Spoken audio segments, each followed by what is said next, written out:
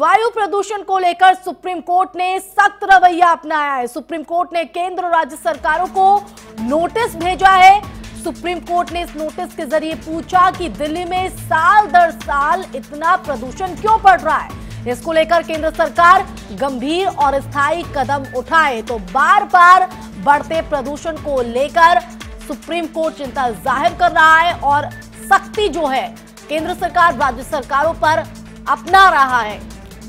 और एक बार फिर से राज्य सरकार केंद्र सरकार को फटकार यहाँ पर लगाई गई है। आखिर दिल्ली का प्रदूषण दर साल दर साल क्यों बढ़ रहा है? ये रीजन यहाँ पर पूछा गया।